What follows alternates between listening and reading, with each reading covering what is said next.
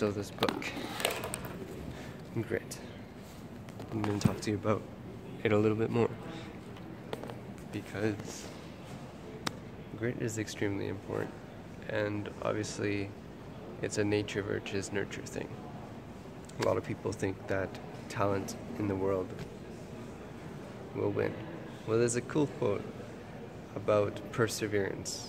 The first time I read it was in Grinding It Out in um, McDonald's book, Ray A. Kroc. And his favorite quote was,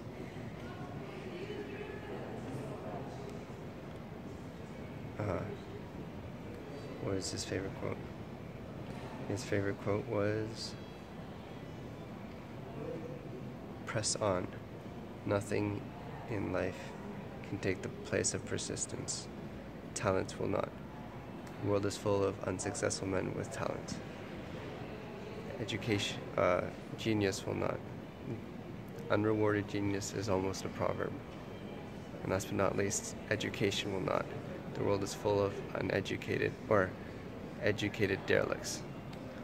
Persistence and, in this case, grit are omnipotent.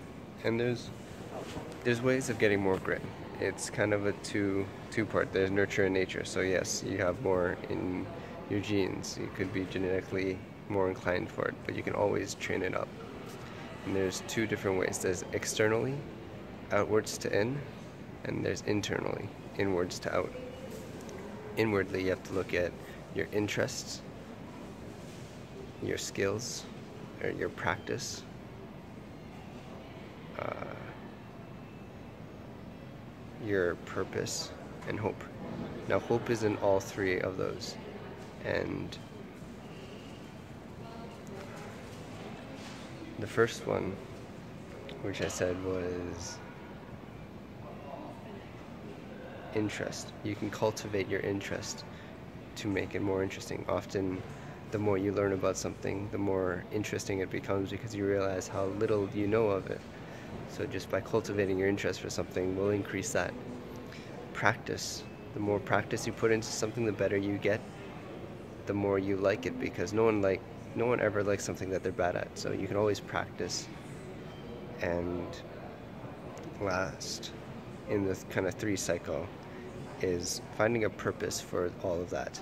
Finding a purpose for your grit will help you pursue that. And hope is one of those that are in all three of them, where you think that